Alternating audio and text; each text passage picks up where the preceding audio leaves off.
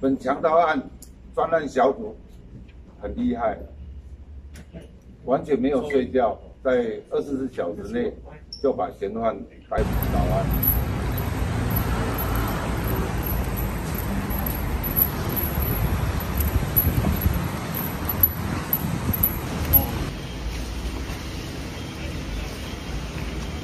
司令，哎，来帮忙控制，请大家上去上车。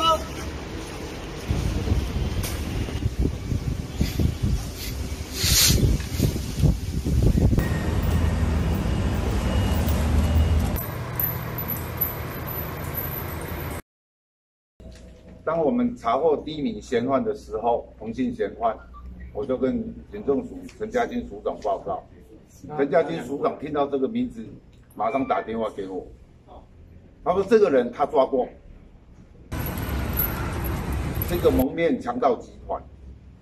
再听到第二个陈姓嫌犯，一共一个是特种，然后这个人被他抓过两次，被他抓入入监之后，假借就医又越狱逃亡，陈家新署长再把他抓回来，他要我再三提醒专案的同仁，这是一个非常恐怖的犯罪集团。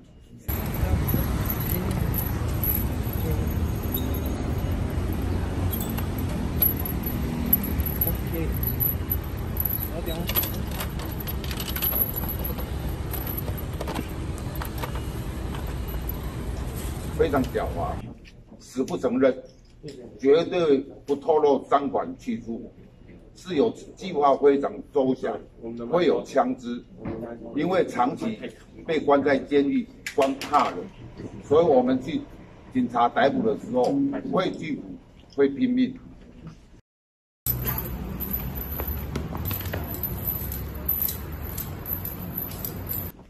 所以再三再三提醒专案小组的同仁要注意安全，尤其在花莲火车站要发动围捕的时候，打了很多次的电话，再三要求专案小组要注意本身的安全。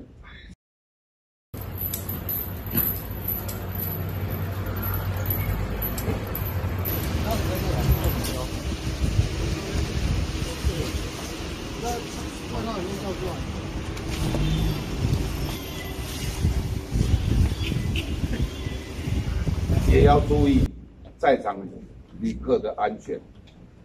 到今天早上凌晨，我们把赃物金子取出来。保留都是还没找到的。我根据了解，今年七月申请过去的八十建议犯下多起。鉴别地检检察长、署长，他们才安心下来。这个案件，高雄市警察局、铁路警察局跟我们专案小组。尤其高雄铁路都帮了关键的忙，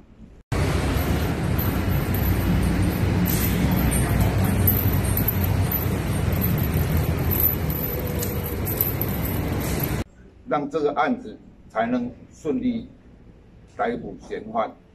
所以整个治安团队的共同合作的效能，是这次成功的关键原因。本案的本局的相关的专案专案小组，我看到了非常的认真，非常的专业，让我很感动。相信警察，台湾的警察一定会把坏人通通抓起来。这个嫌犯被我们抓到的时候，专案小组跟我说：“你不打听吗？”那署长说：“我抓过他。”我我记得玄奘跟我说：“啊，第日打我破头掠嘞，都是家庭嘛。”然后我的我是想说，因为他们非常的狡猾，什么都不承认，什么都不交代，然后我就想要他，要要真的要要知道说大势已去，不要再顽抗。我们专案小组会把所有的证据都找出来。查获了这个三千两，哎，三千多克的。其他的美。